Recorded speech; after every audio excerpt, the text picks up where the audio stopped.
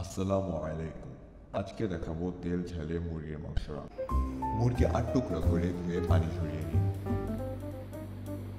টক দই, সামান্য লবণ দিয়ে মেখে পনেরো থেকে বিশ মিনিট রেখে দিন।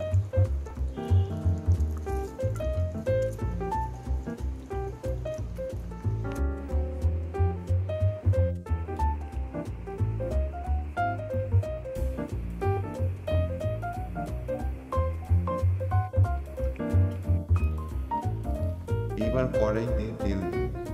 গরম হলে পেঁয়াজ দিন।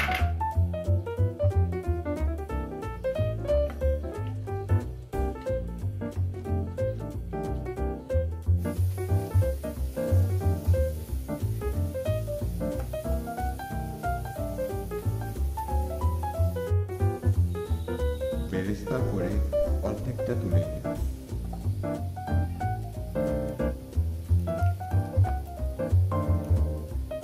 বেরেস্তার সঙ্গে সব গরম মশলা বাটা মশলা গুঁড়া মশলা আর লবণ দিয়ে ভালো করে কষিয়ে নিন